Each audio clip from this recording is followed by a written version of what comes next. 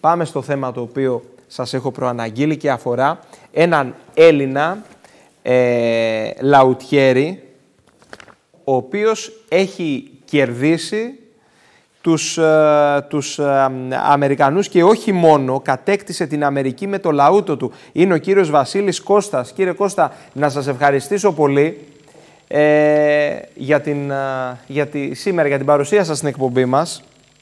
Καλησπέρα σας, εγώ ευχαριστώ πολύ.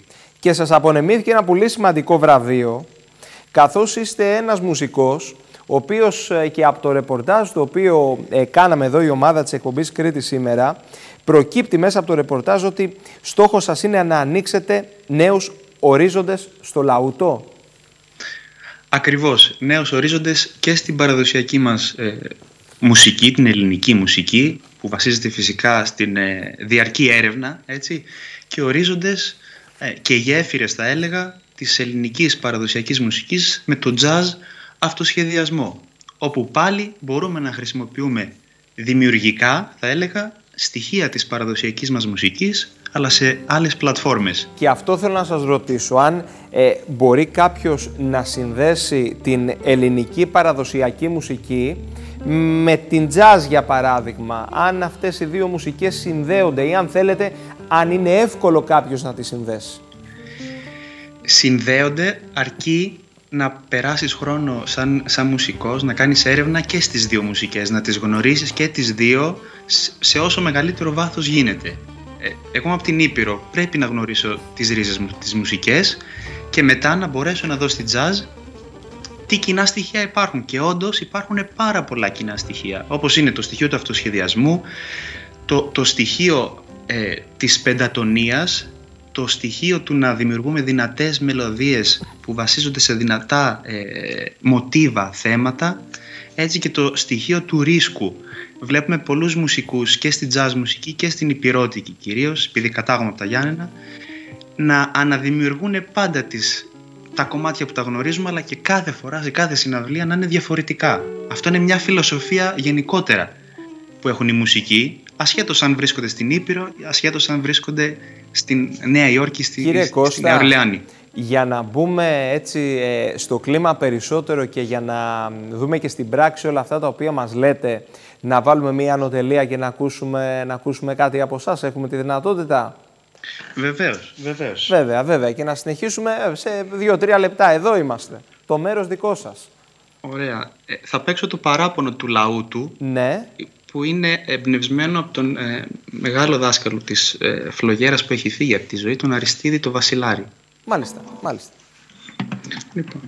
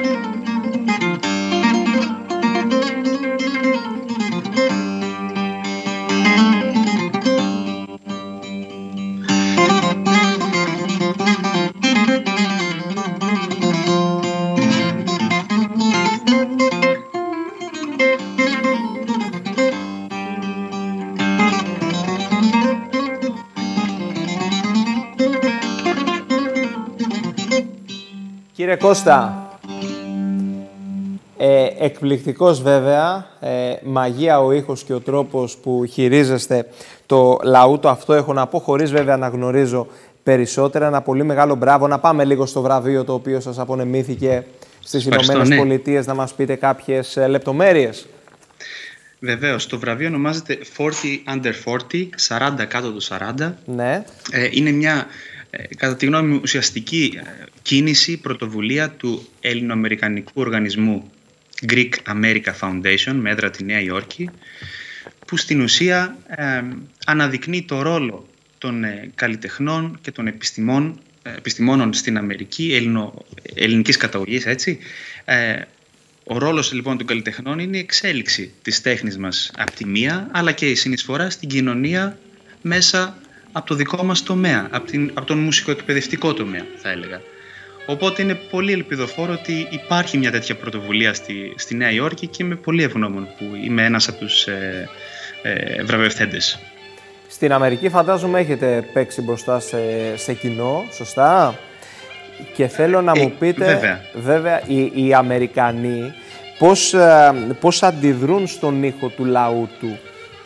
Και θέλω να μου πείτε αν το λαούτο ε, ως ένα μουσικό όργανο έχει την ε, δυναμική να υποστηρίξει και άλλες μουσικές κατευθύνσεις. Ωραίες ερωτήσεις όλες. Ε, καταρχάς, η πρώτη φορά που έπαιξα επιρώτικη μουσική με το λαούτο στην Αμερική με εξέπληξε πραγματικά γιατί το κοινό ήταν ε, περίπου 300 άνθρωποι και να ήταν 10 Έλληνες στο κοινό και είδαμε τι έτσι, προσοχή και σεβασμό ε, και αγάπη οι άνθρωποι αυτοί άκουσαν ε, τα μυρολόγια και τους κάρους, τους ποιμενικούς σκοπούς που έχουμε στην Ήπειρο και εκεί πραγματικά κατάλαβα ότι η πυρότικη μουσική και μέσα από το λαούτο έχει μια εφαρμογή όχι μόνο στο ελληνικό κοινό αλλά και γενικότερα και ευρύτερα σε όλο τον κόσμο. Ε, οπότε έτσι πήρα θάρρος και εγώ εκεί είχα την, την ενθάρρυνση αυτή να αρχίσω να πειραματίζομαι ώστε να εφαρμόζω μουσικές που έρχονται από τα κλαρίνα στην Ήπειρο, κυρίως από τον Πετρολούκα Χαλκιά, τον, τον, τον μέντορά μου και συνεργάτη τώρα, ε, αλλά και να, ανοίγω, να προσπαθώ να ανοίξω γέφυρες με τον jazz αυτό σχεδιασμό, ώστε να προσπαθώ να επικοινωνώ στην ουσία με μουσικούς που κατάγονται από άλλες χώρες. Αυτός είναι ο στόχος, η επικοινωνία τελικά με, με μουσικούς από όλο τον κόσμο. Επόμενος μεγάλος στόχος για εσάς ποιος είναι; Επόμενος μεγάλος στόχος είναι, εφόσον έχουμε υγεία, να, να προσπαθώ να κάνω έρευνα πιο βαθιά ακόμα στην υπηρώτικη μουσική και στις γέφυρες με τον jazz αυτοσχεδιασμό γιατί είναι τέτοιος ο πλούτος αυτή τη στιγμή στη μουσική μας είναι τόσο μεγάλο το επίπεδο και που έχει φτάσει το πράγμα που ε, θέλει μια διαρκή μελέτη. Οπότε ο στόχος μου είναι να προσπαθώ να αποτυπώνω στο δικό μου μουσικό όργανο, στο λαούτο, μελωδίες και τρόπους παίξήματος που έρχονται από άλλα όργανα πέρα από το λαούτο. Δηλαδή το κλαρίνο, τη φλογέρα, το ζουρνά, το βιολί, το τραγούδι ακόμα το λαούτο θέλω να είναι όχημα για μένα. Για να μπορώ να εκφράζομαι και να εκφράζω επίσης όλα αυτά τα μοτίβα που λέμε στην, στη, στη γλώσσα των μουσικών. Λοιπόν, να κλείσουμε λοιπόν ε, την εκπομπή, το τέταρτο μέρος και την παρουσία σας εδώ στην Κρήτη σήμερα με όχημα το λαούτο και ένα συνδυασμός ε, υπηρώτικης μουσικής και τζάζ.